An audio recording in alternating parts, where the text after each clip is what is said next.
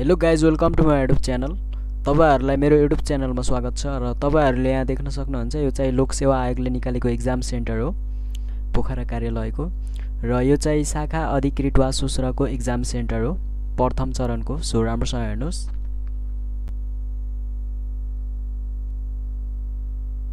तपाईँहरूको विज्ञापन नम्बर यहाँ रहेको छ यो चाहिँ खुल्ला र समावेशीबाट हो। सो राम्रोसँग हेर्नुहोस्।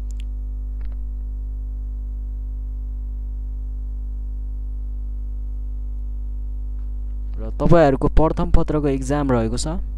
दुई हजार उनासी बाह्र महिना चार गते बिहानको एघार बजे। अवधि रहेको छ एक घन्टा तिस मिनटको। र तपाईँहरूको रोल नम्बर अनुसार तपाईँहरूको परीक्षा भवन कायम गरेको छ। सो राम्रोसँग हेर्नुहोस्। र यो भिडियो जो जसले हेर्दै हुनुहुन्छ सबैजना लाइक सब्सक्राइब कमेन्ट गरिदिनु होला।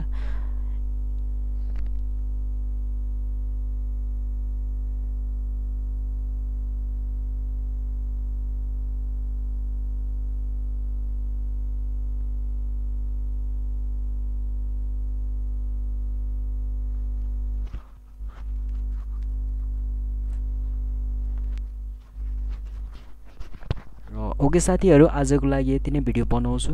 तपाईँहरूलाई मन पऱ्यो भने लाइक सब्सक्राइब कमेन्ट गरिदिनु होला। सो आजको लागि यति नै हो।